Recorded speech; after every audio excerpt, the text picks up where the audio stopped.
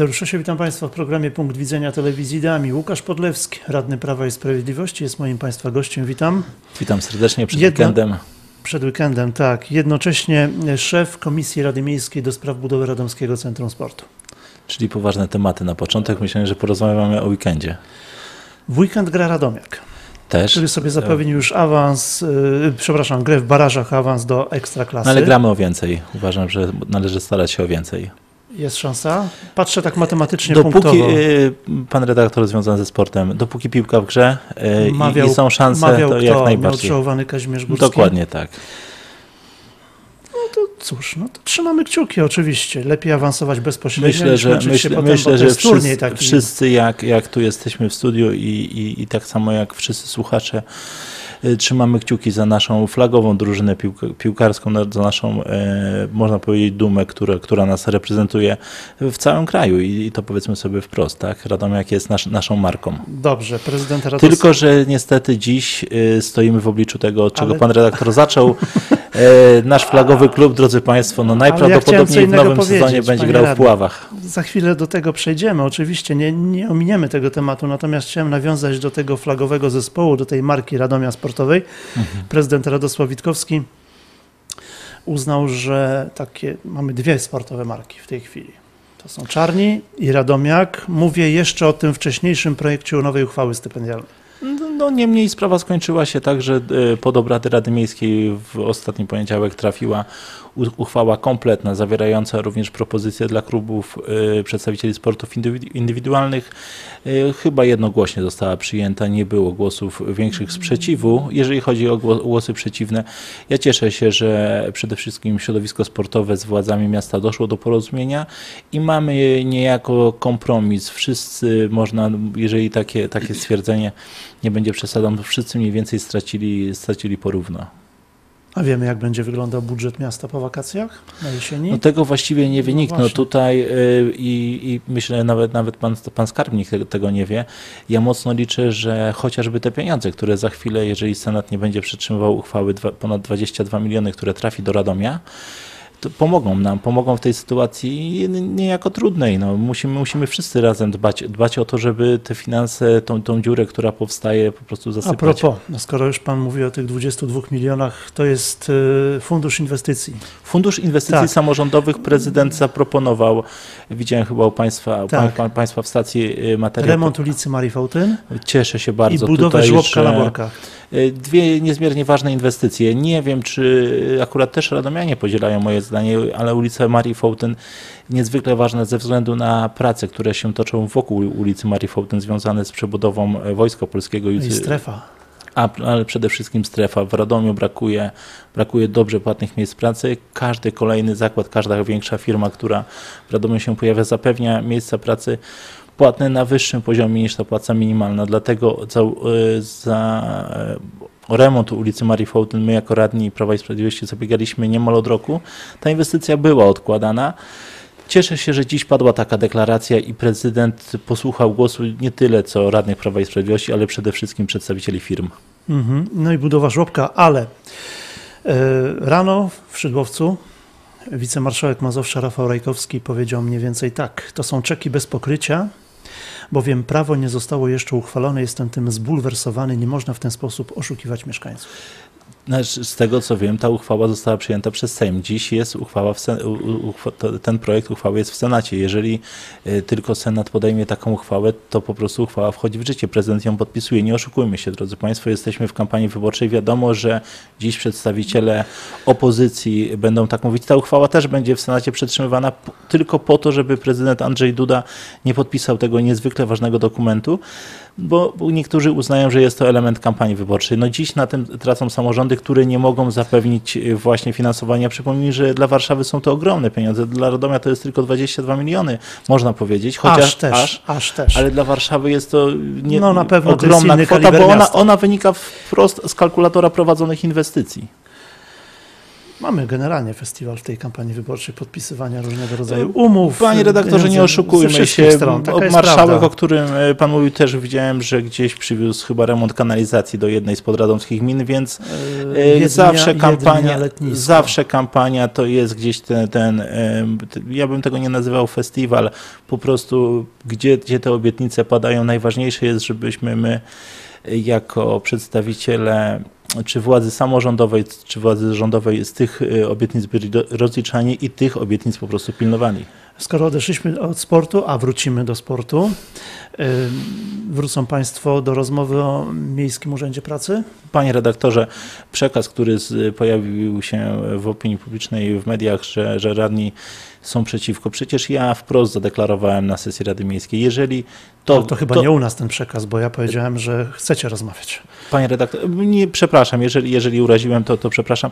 E, Radni Prawa i Sprawiedliwości, moimi słowami, w tym, tym również ja zadeklarowałem, że sam złożę taką uchwałę, jeżeli e, będę miał odpowiednie dokumenty, a samo te dokumenty właśnie w poniedziałek wystąpię, najpierw kierując e, pisma do Starostwa Powiatowego, Powiatowego Urzędu Pracy, ale też również do Wydziału Inwestycji Urzędu Miejskiego, bo kiedy dziś widzimy tylko slajd, że remont budynku będzie kosztował milion złotych, No, no, taka jest mieliśmy kwota, tak. niedawno przypadek, że remont parkingu miał kosztować 600 tysięcy złotych. Y, Wyremontowaliśmy parking, parking nie nadaje się do, do użytku. Ja już w, ostatnich latach jestem świadkiem prowadzonych inwestycji, chociażby kamica deskurów, stadion Rozumiem, i tak dalej. Jesteście ostrożni, Ja po prostu się boję, a jeżeli prezydent ma wolne milion złotych, no to Mhm. może poczekajmy i rzeczywiście, bo, pan redaktor sam mówił, że mamy dziurę w budżecie, to ten milion złotych można w tym momencie y, kryzysu, kryzysu spowodowanego Epidemią. brakiem wpływu do budżetu zainwestować, żeby przynosił nam zysk, a po prostu y, wyremontowanie budynku bez analizy jakiejkolwiek, po prostu rzucona kwota milion złotych, no to nie jest poważna rozmowa. Ja też mówiłem o tym, że 15 minut na decyzję, tak ważną decyzję, to ale, jest za przeka- mało. ale przekaz jest taki na dziś, że się nie odcinacie od tego pomysłu Absolutnie. jako radni PiS. Absolutnie deklaruję również y, u pana redaktora i, i tu u widzów, jeżeli wszystkie te słowa i deklaracje, które, które padły ze strony prezydenta zawodnika, ale również radnych y, koalicji się potwierdzą, sam taką uchwałę przygotuję na 31 sierpnia. Dobrze. I liczę, że będę z tego rozliczony. Mhm. To co, wracamy do sportu? Jak najbardziej. Mamy piątek, można pograć piłkę.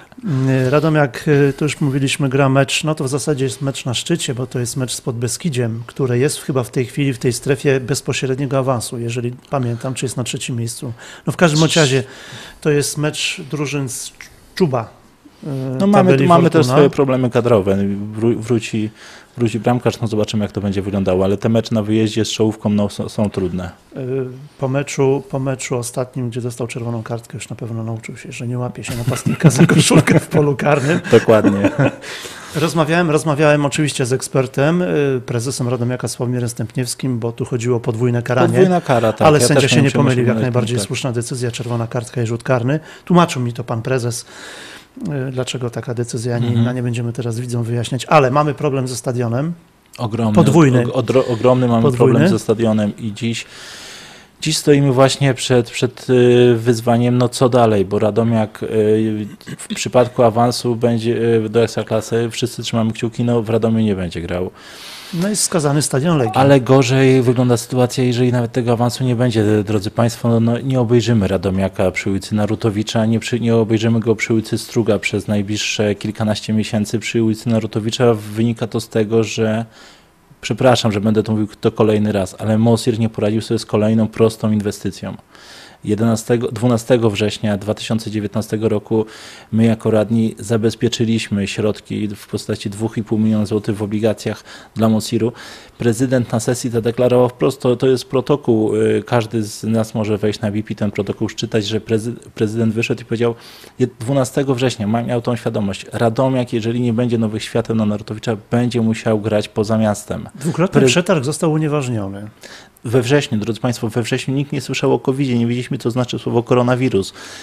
I wtedy y, prezydent zadeklarował, że Grzegorz Janduła poczynił niezbędne kroki, żeby ta inwestycja poszła jak najszybciej. Pierwszy przetarg powinien być ogłoszony w październiku i jeżeli się nie udał, mamy grudzień, mamy styczeń.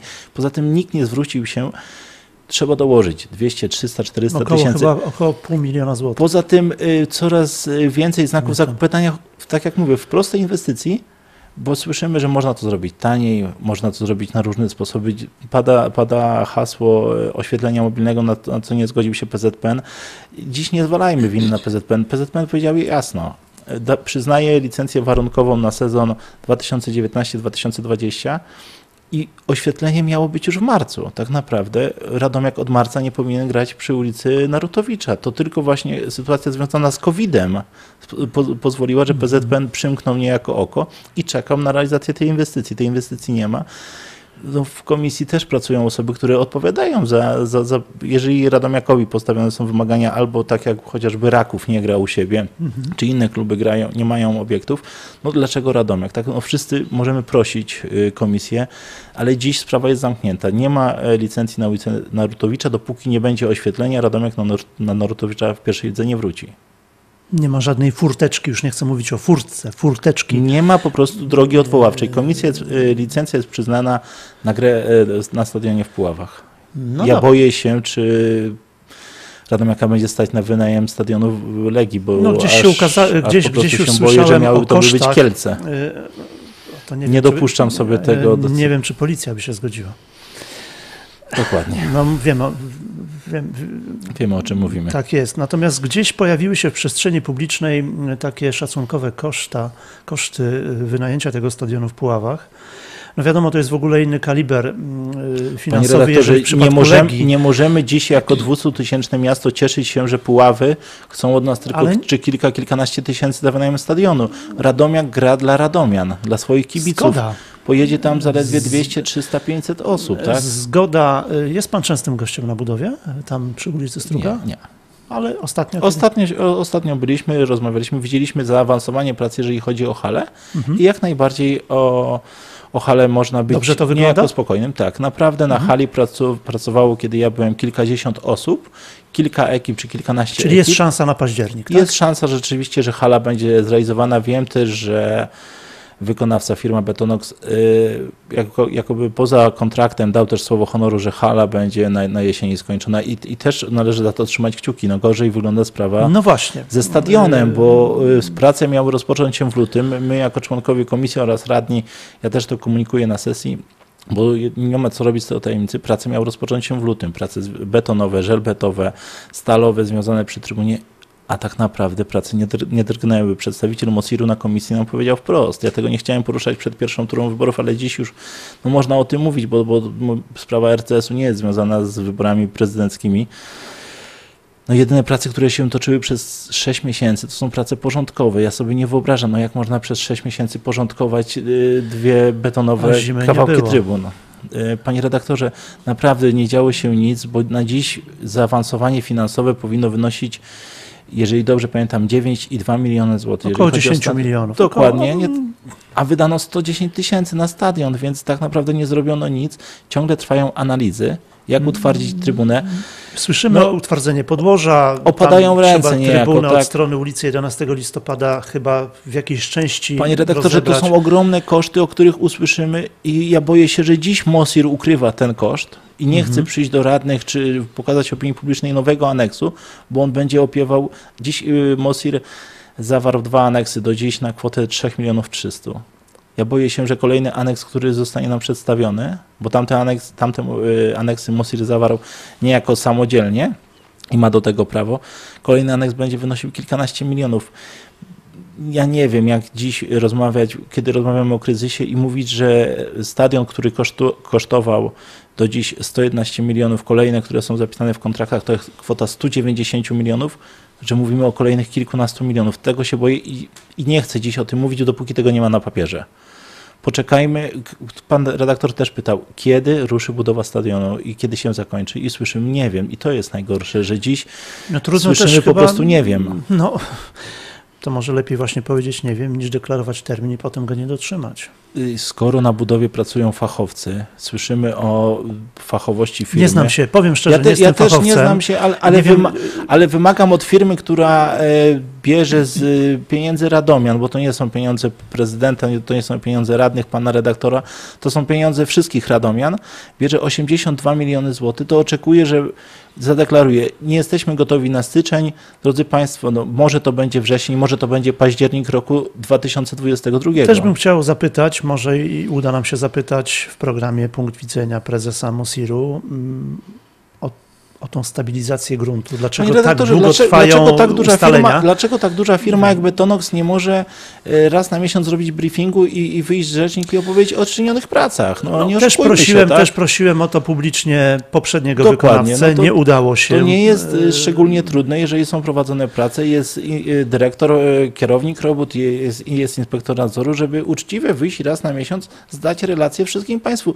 Dziś cały Radom żyje tą inwestycją. Nie No, oszukujmy na się, Radom i na pewno. żyją tą inwestycją. No jest kilka inwestycji czekają. w Radomiu, które są szalenie ważne. Wojska Polskiego tak samo, Lotnisko, tak. Wojska Polskiego, Kamienica Dyskurów. No, tylko jeżeli Yy, mówimy o lotnisku, no jednak te konferencje, o, o które po, jed, jeden, z posłów, jeden tak. z posłów się czepiał, a ja uważam, że to jest bardzo dobrze, że wykonawcy, którzy pracują, czy inwestorzy na, na e, płycie lotniska rzeczywiście komunikują, przedstawiają, pokazywane są filmiki. Państwo ja- jako przedstawiciele mediów mają dostęp na ten plac budowy, mogą, można obejrzeć i przedstawić Państwu jako opinii publicznej co, to, co się dzieje. Dobre rozwiązanie. Ja zawsze mówię, grajmy w się- otwarte karty, tak? No, chyba, że coś mamy do ukrycia pod stołem.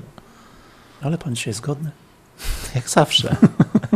Poza tym jest piątek. A jeżeli mogę zaprosić jeszcze wszystkich Państwa na, na dwa spotkania niezwykle ciekawe z politykami z pierwszych Wiedziałem. stron gazet. E, Patryk Jaki i Beata Szydło. W e, sobotę odwiedzi Patryk Jaki Radom o godzinie 12. W niedzielne południe będzie to Beata Szydło. Panie redaktorze, no poza tym, że rozmawiam po południu, no to też jesteśmy osobami związanymi niejako z polityką.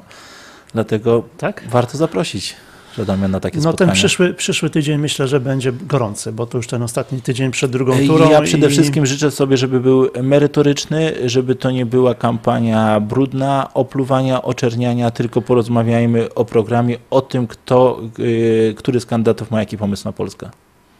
No to debata jest potrzebna, Mam nadzieję, że do takiej debaty dojdzie. bo na razie jest problem z organizacją. Jeżeli ja będę miał startować w debacie, w każdej wezmę Tak? udział. Tak? No to jest ważna deklaracja. Trzymamy za słowo. Łukasz Podlewski, radny Prawa i Sprawiedliwości, szef Komisji Rady Miejskiej do spraw budowy Radomskiego Centrum Sportu, był moim Państwa gościem w programie Punkt Widzenia. Bardzo dziękuję. Dziękuję Miłego pięknie. weekendu, dużo Do, zdrowia. dobrego weekendu, dobrego popołudnia. Dobrych wieści z y, Podbeskidzia I ze Struga 63. też. Dziękujemy, do zobaczenia, do usłyszenia.